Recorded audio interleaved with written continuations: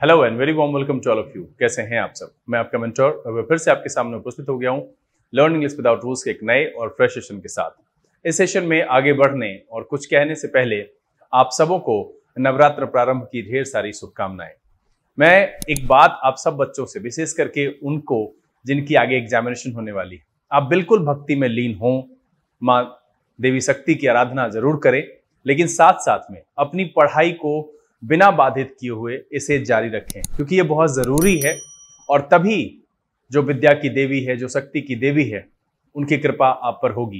क्योंकि सबसे पहले आपको अपना कर्म करना होता है, अपनी मेहनत करनी होती है। तो किसी भी तरीके से जो चल रहा था, उसमें इस त्योहार की वजह से बाधा नहीं पहुंचनी चाहिए। मैं यहाँ पर बिल्कुल ये नहीं कह रहा हूँ कि आपको भक्ति, आराधना, पूजा पाठ ये नहीं करनी है। बिल्कुल आप करें और करना भी चाहिए। लेकिन उस वजह से आपकी पढ़ाई बाधित नहीं होनी चाहिए। वो एकदम ज़ोर शोर से चलती रहनी चाहिए।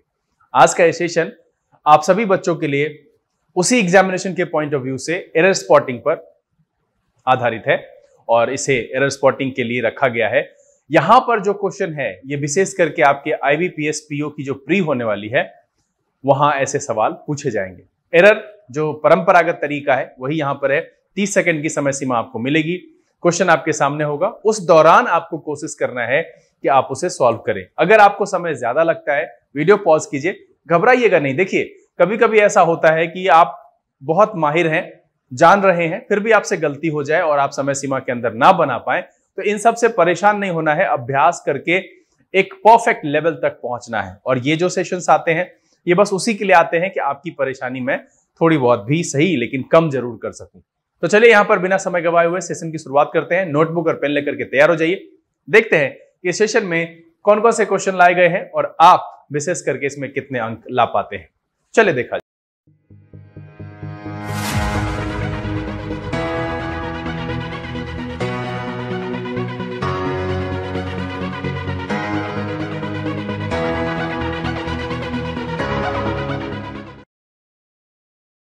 आइए हम आज के सेशन की शुरुआत करते हैं और बारी बारी से इस एरर स्पॉटिंग के सेशन में लाए गए क्वेश्चन को आपके सामने रखते हैं।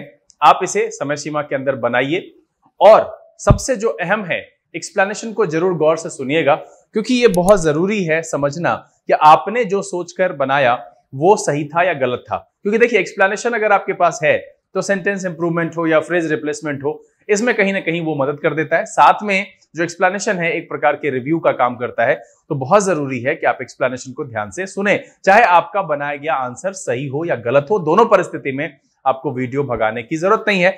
वीडियो वैसे भी मैं छोटे रखता हूँ, शुरू से अंत तक इस पर बने रहिए। सेशन को शुरू करेंगे, लेकिन उससे पहले जो लोग इस चैनल पर नए हैं चैनल को सब्सक्राइब कर लीजिए।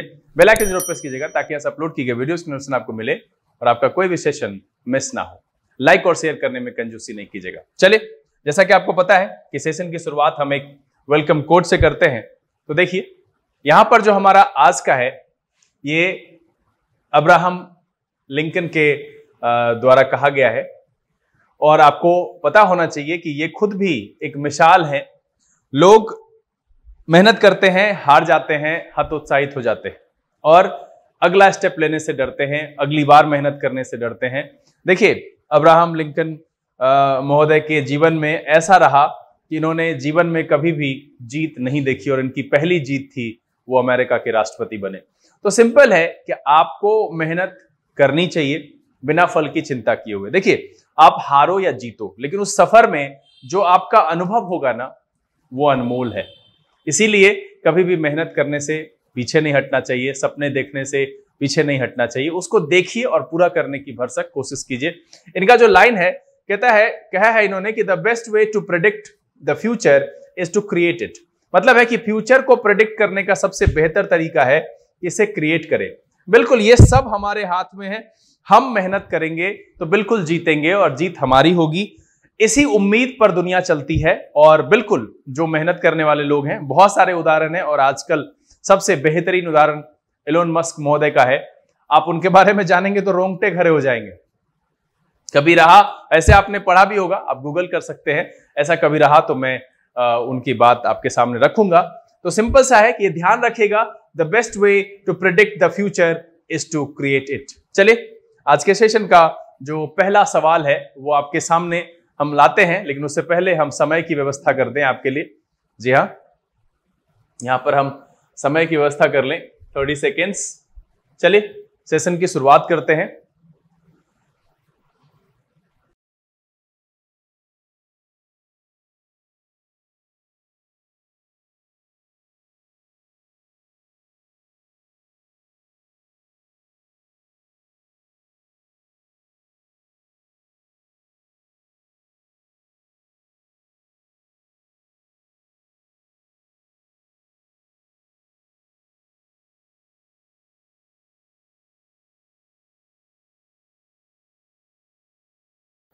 चले टाइम्स अप यहाँ पर देखिए पहला सवाल, क्या कह रहा है कि India has made it clear to the United States that even though it figures in its top ten list of high trade deficit countries Washington must stop equating it अब यहाँ पर देखिए इक्वेटिंग विद चाइना है ना?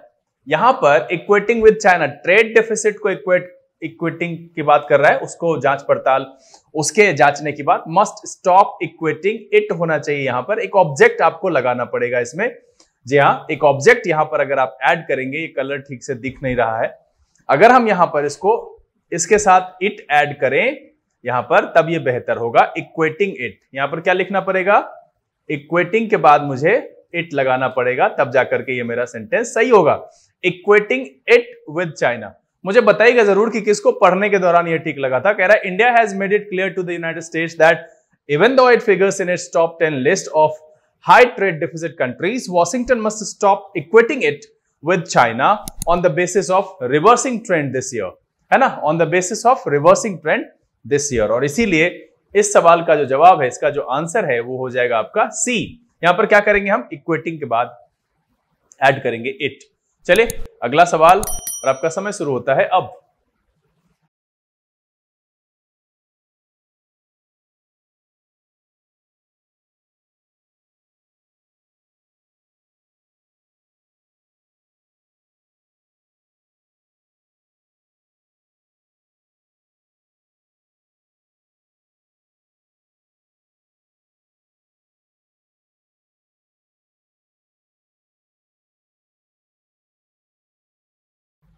चलिए, समय समाप्त हुआ। अब यहाँ पर जो सवाल है, कह रहा है कि there has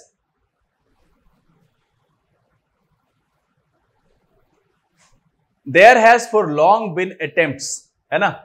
ये जो अटेम्प्ट है, इसको देखिए, और ये जो देयर है, इसको देखिए। मैंने आपको डमी सब्जेक्ट के बारे में बताया था। इसमें पिछले दिन भी मैंने इस पर बात की थी। डमी सब्जेक्ट्स यानी कि देयर की बात की थी मैंने, और वहाँ लिखा था कि देयर इज़ अ किंग और फिर बताया था कि अगला जैसा होता है, उसी के हिसाब से देयर आर किंग्स इसकी जानकारी मैंने आपको दी थी। यहाँ पर जो अटेम्प्ट लगा हुआ है, इसलिए यहाँ हैज़ नहीं होना चाहिए। क्या होना चाहिए? हैव कि there have for long been attempt by vested interest to drill down a sense of trepidation among Indian Muslim that they will have an insecure and anxious existence if the Hindu majority adopts a majoritarian view अब यहाँ पर जो है, मेरा पहला ही दिख गया यहाँ हैज़ नहीं होना चाहिए क्योंकि देयर यानी कि डमी सब्जेक्ट का लगा हुआ है और इसीलिए इस सवाल का जो जवाब है, वो है आपका ए हमको हमेशा ये ध्यान रखना चाहिए। कई जगहों पर ये सवाल पूछा जाता है। साथ में इसको मिक्स करके भी पूछ देते हैं कई बार। मतलब एनपीएन के साथ इसको रख देगा या किसी और के साथ रख देगा तो वहाँ पर आपको सचेत होने की ज़रूरत है। इन सब सवाल में कुछ नहीं है। मुफ़्त का नंबर है। बस आपकी जागरूकता। मुझे बताइएगा कि क्या आपका ये गलत हुआ या आप सही थे। चले अगला सवाल और आपका समय शुरू होता है अब।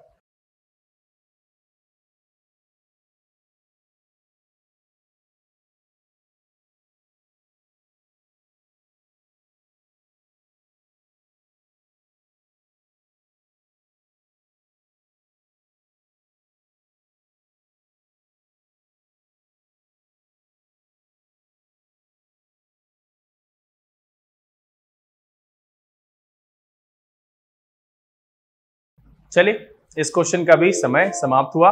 और ये क्वेश्चन बड़ा ही आसान है और ये सवाल है प्रोनाउन पर आधारित। जिन बच्चों ने भी पढ़ा है, जानकारी है, वो आप इसको बनाए होंगे। कह रहा है for passive euthanasia to be seriously considered as an option in a country like our अब देखिए, ये जो आर है माय है योर है देर है, ये सारे जो है पॉजिटिव एडजेक्टिव है। इसमें आर भी होगा, और सारे भी होंगे। एटीसी लगा लीजिए इसके आगे। पॉजिटिव एडजेक्टिव है। ठीक है? इनके साथ क्या चाहिए? पॉजिटिव एडजेक्टिव है। इनके साथ एक नाउन चाहिए। ठीक है? यहाँ पर हमको आर के साथ our friend our country our brother our sister ऐसे ब्रदर सिस्टर्स यहाँ पर ऐड करना पड़ेगा। अगर हम वो नहीं करते तो इसकी जगह पर हम इसका प्रोनाउन वाला फॉर्म आर्स कर देंगे। तो हो जाएगा कि for passive euthanasia to be seriously considered as an option in country like ours और ये जो है आर्स यहाँ पर देखिए आर्स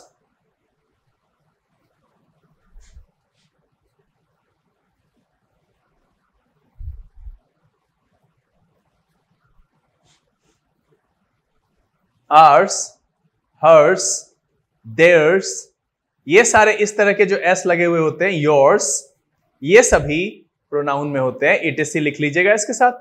ये सभी प्रोनाउन होते हैं तो इसको हम अकेले लिख लिख सकते हैं माइन ये उसमें आता है सिंपल सा ध्यान रखना है कि जिसमें एस लगा हुआ नहीं है, उसके आगे हमें नाउन लगाना पड़ता है, और यहाँ पर नाउन लिखा नहीं गया है। आगे कह रहा है कि we need to keep in mind the words of Immanuel Kant which form the basis of medical ethics अब सिंपल सा है, यहाँ पर कंट्री लाइक आर्ट्स होना चाहिए, और इसीलिए इस सवाल का जो जवाब है, इसका जो आंसर है, वो है आपका बी देखिए आर और आर्ट्स में यही अंतर है कि आर एक एडजेक्टिव की तरह काम करता है, उसके आगे एक नाउन चाहिए और आर्स प्रोनाउन है, आप लिख सकते हैं, हम लोग बोलचाल में यूज़ करते हैं। आम ऑल योर्स चलिए, अगला सवाल, समय शुरू होता है अब।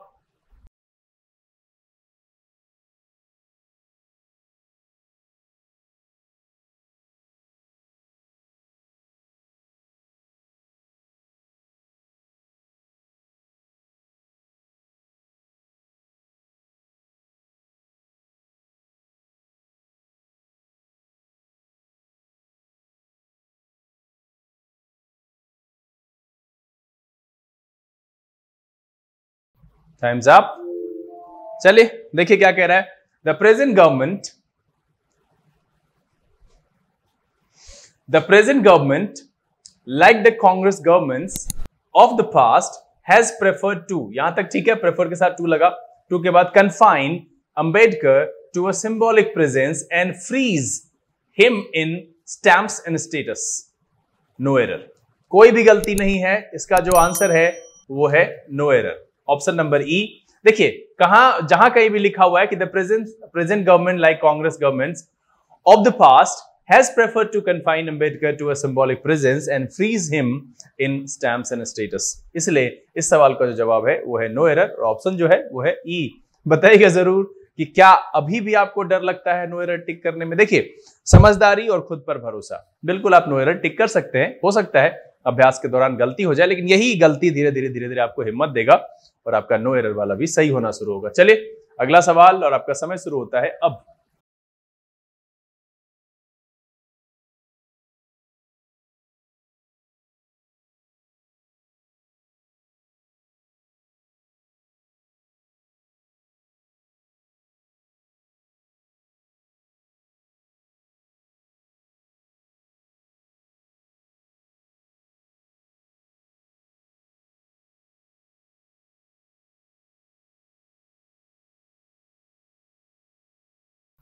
टाइम्स अप देखिए, इस सवाल का एक्सप्लेनेशन देने से पहले ही मैं कह दूँ कि मुझे लगता है कि बहुत सारे बच्चों की गलती यहाँ पर हो गई होगी।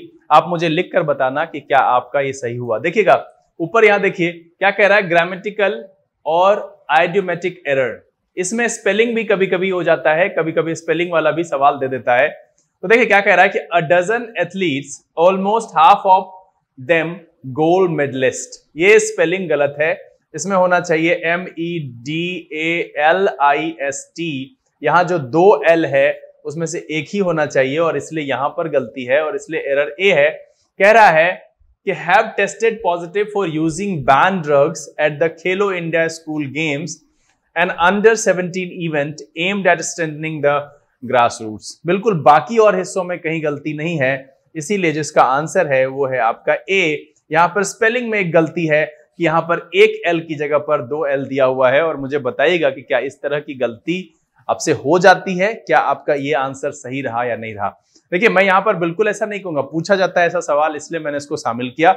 ये नज़र में आ गया मुझे तो लगा कि एक बार डाला जाए कि क्या आप पढ़ते हैं जब तो गौर कर पर या नहीं। चलिए, अगला सवाल और आपका समय शुरू होता है अब।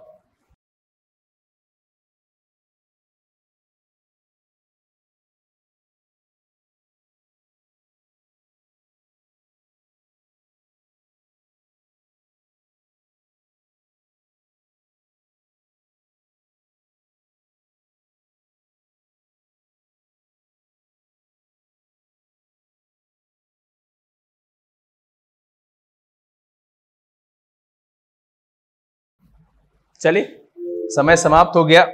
यहाँ पर मुझे लगता है आसानी से आप लोगों ने बना दिया होगा। यहाँ जब आप कह, कह रहा है कि the while polygamy allows a Muslim man to have four wives अब देखिए बहु विवाह को कहते हैं पॉलीगेमी है ना?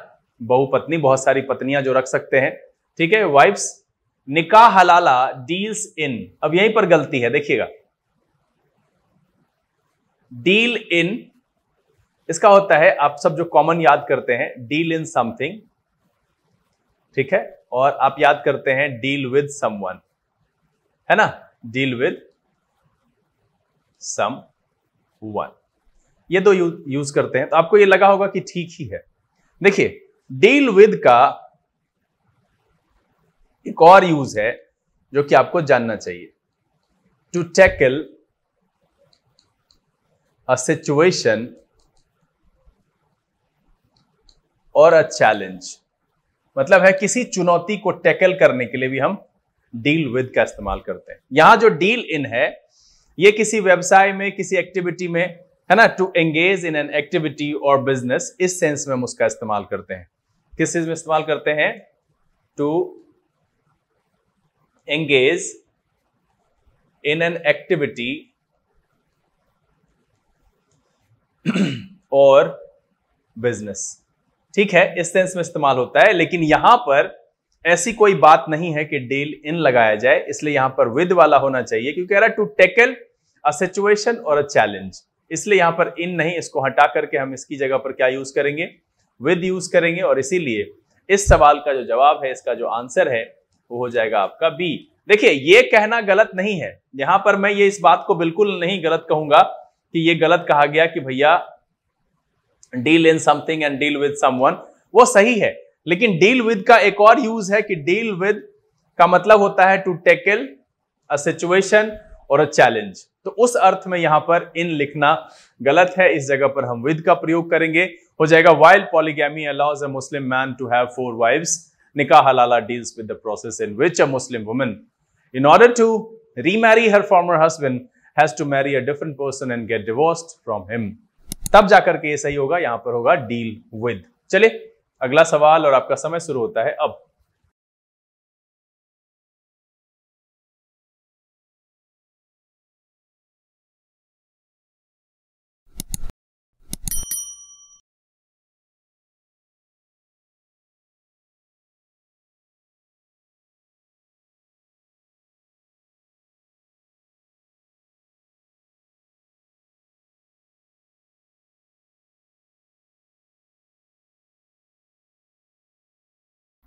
समय समाप्त हो गया। बड़ा ही आसान सा सवाल है ये।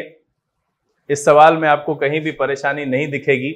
जहाँ देखिए क्या कह रहा है even as it continues to face heat on issues of data protection the centre has put ये क्या है हैज़ प्लस वी थ्री इसके बीच में होना चाहिए एडवर्ब क्वाइटली है ना? क्वाइटली क्या हो जाएगा? Q U I E T L Y इसका प्रयोग करेंगे। क्वाइट लिखा हुआ है, गलत है वहाँ पर। Has quietly put in the public domain the draft of a law to ensure any protection of health data that makes any breach punishable by up to five years imprisonment और तब जाकर के ये सही हो जाएगा और इसीलिए इस सवाल का जो जवाब है वो है आपका बी क्या करना है क्वाइट को कर देना है क्वाइटली चलिए अगला सवाल और आपका समय शुरू होता है अब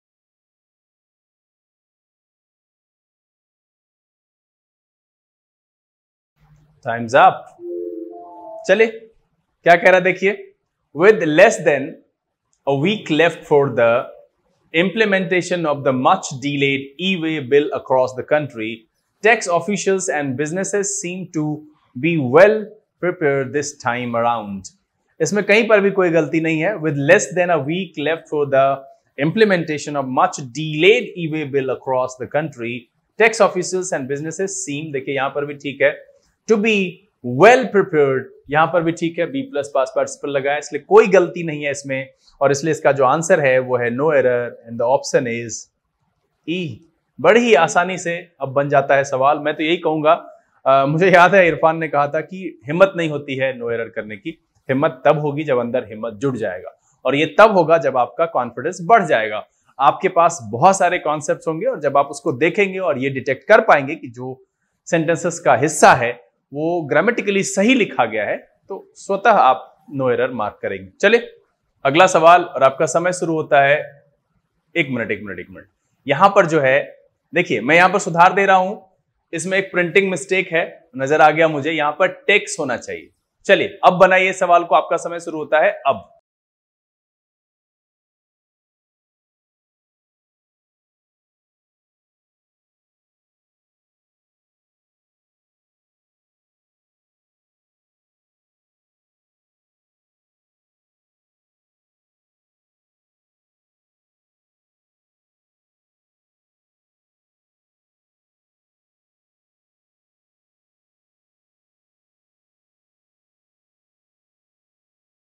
चले समय समाप्त हो गया।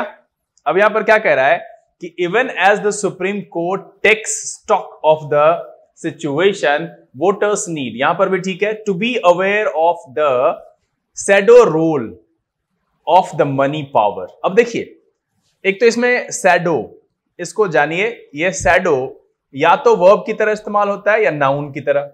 और यहाँ पर द रोल मेरा जो है, वो लिखा हुआ, ये मेरा नाउन है आर्टिकल के साथ लगाया गया है। इसको अगर हम एडजेक्टिव कर दें सैडोई है ना? S H A D O W Y तब ये एडजेक्टिव की तरह काम करेगा और तब जाकर के अगर आप इसको करें तो यहाँ पर कर देंगे इसको सैडोई इस तरीके से लिखना गलत है सैडो रोल नहीं होगा। क्या होना चाहिए? सैडोई क्योंकि देखिए, द के साथ तो ये रोल लगा हुआ है यहाँ पे। बीच में इसमें लगाया एक एडजेक्टिव तो एडजेक्टिव लगना चाहिए ना। यहाँ पर सैडो जो है, वो वर्ब और नाउन की तरह इस्तेमाल होता है। तो ये नहीं होगा यहाँ पर, होना चाहिए shadowy even as the Supreme Court takes stock of the situation voters need to be aware of the shadowy role of the money power as they exercise their franchise तब जाकर के सही हो जाएगा। क्या करना है हमको? इस सैडो को सैडोई यानी कि जो वर्ब और नाउन का फॉर्मेट है, उसको मुझे एडजेक्टिव में चेंज करना होगा। और इसीलिए इस सवाल का जो जवाब है, वो है आपका सी क्या करना है? सैडो को सैडो ही करना है। सैडो या तो वर्ब होता है या नाउन होता है। तो नाउन के तौर पर तो फिट बैठ रहा है, लेकिन वो अगले वाले को क्वालिफाई नहीं कर पाएगा, इसलिए मुझे उसको एडजेक्टिव बनाना पड़ेगा। चले सेशन का आखिरी सवाल। का समय शुरू होता है अब।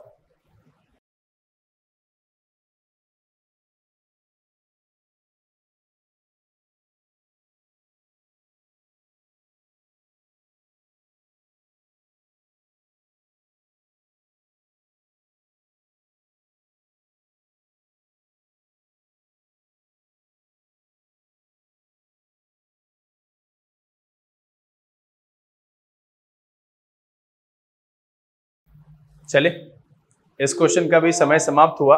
देखिए, इस सवाल पर एक्सप्लेनेशन देने से पहले, जैसा कि आपको पता है कि मैं बार बार कहता हूँ और बहुत सारे शिक्षक जो है, वो ये कहते हैं कि न्यूज़पेपर पढ़िए। बहुत सारी चीज़ें, देखने में लंबा लग रहा है ना सवाल को पढ़िए। Expansion in power generation in India has been large on the back of state financing almost all coal power plants in India are constructed through massive debt financing from state owned banks regardless of whether the promoter is a state owned enterprise और private company देखिए, अगर आप पढ़ेंगे ना तो आप जानते हैं कि एडवर्ब जो है वर्ब को क्वालिफाई कर सकता है फ्रेज को क्वालिफाई करता है है ना? एडजेक्टिव को क्वालिफाई करता है, खुद को क्वालिफाई करता है।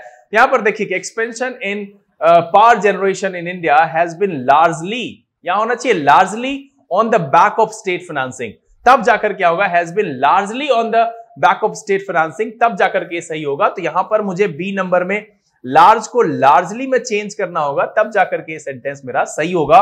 और इसीलिए इस सवाल का जो जवाब है, इसका जो आंसर है, वो है बी देखिए, ये सबसे पहले तो नॉलेज की बात है एडवर्ब की जानकारी आपको होनी चाहिए। ऐसे भी अगर आपको नहीं है, लेकिन फिर भी आप रेगुलर न्यूज़पेपर पढ़ते हैं तो जो एक तरीका होता है ना, पढ़ते पढ़ते पढ़ते आप अभ्यस्त हो जाते हैं कि भाई यहाँ पे क्या होना चाहिए। सुन के भी जो बहुत सारे बच्चे कहते हैं, सुनने में ठीक नहीं लगा sir expansion in past generation in India has been largely on the back of the state financing और तब जाकर के ये सही होगा। इसलिए वहाँ पर लार्ज को हम लार्जली करेंगे और सेंटेंस मेरा सही हो जाएगा। चले उम्मीद करते हैं कि आपने इसमें अच्छा स्कोर किया होगा और आपको मज़ा आया होगा। आप सब अपने स्कोर मुझे नीचे लिख करके बताएँगे ज़रूर। क्या परेशानी हुई? क्या दिक्कत होती है? अब भी एरर बनाने में। विशेष करके मैं वैसे बच्चों को कह रहा हूँ, जिनकी आगे प्रिलिमिनरी टेस्ट है आईबीपीएस पीओ की तो वो मुझे बता सकते हैं। मैं कोशिश करूँगा कि उन, उनके लिए कुछ निदान लेकर के आ सकूँ ताकि ये समस्या फिर एसबीआई तक न चली जाए। अभी मैं समय है इन दिनों मैं वीडियोस लाता रहूँगा। जैसा मैंने कहा है मैं कोशिश कर रहा हूँ कि मैं उसे पूरा कर पाऊँ और अभी ये निरंतरता बनी हुई है और दुर्गा माँ की कृपा से ये निरंतरता बनी रहेगी। बस मैं इतना चाहता हूँ कि आपको अगर कोई समस्या है तो आप मुझे लिख करके बताइए, ताकि हम उसका निदान ला सके। उम्मीद करते हैं कि आज का सेशन आपको बहुत पसंद आया होगा और बहुत कुछ आपको सीखने के लिए मिला होगा। अगर ये वीडियो आपको अच्छा लगा आपसे लाइक कर दें। अगर आपने चैनल सब्सक्राइब नहीं किया है, प्लीज़ सब्सक्राइब कर लीजिए। बेल आइकन ज़रूर प्रेस कीजिएगा, ताकि यहाँ से अपलोड की गई वीडियो की नोटिफिकेशन आपको मिले और आपका कोई भी सेशन मिस ना हो। समय यहाँ से विदा लेने का, लेकिन बहुत जल्द इसी तरह के एक एपिसोड के साथ आपके सामने हम फिर उपस्थित होंगे। तब तक के लिए आप घर में रहिए, भक्ति में लीन रहिए साथ साथ पढ़ाई लिखाई ज़ोर शोर से करते रहिएगा। किसी भी वजह से आपकी पढ़ाई रुकनी नहीं चाहिए। लर्निंग दिस विदाउट रूल्स के सेशन से this is B K Singh signing off keep reading keep practising thank you God bless you